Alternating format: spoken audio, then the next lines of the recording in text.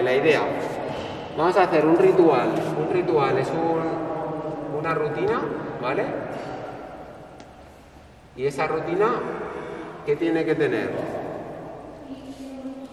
¿Vale?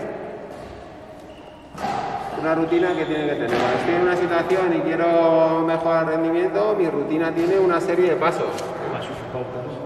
Una serie de pasos que están en orden,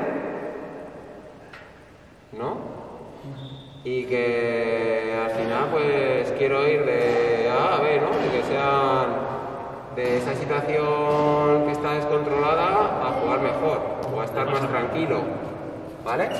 O aquí, que voy por debajo del marcador, pues eh, recuperar la confianza, que si os acordáis de alguna charla que os he dado, básicamente la confianza, la confianza en uno mismo, ¿vale? Al todo lo más importante de un partido es esto. Porque si no, por ejemplo, lo que decía ella, si no confías en, claro, porque el rival es superior o porque lo que sea, ya lo que sabes hacer ni siquiera lo haces.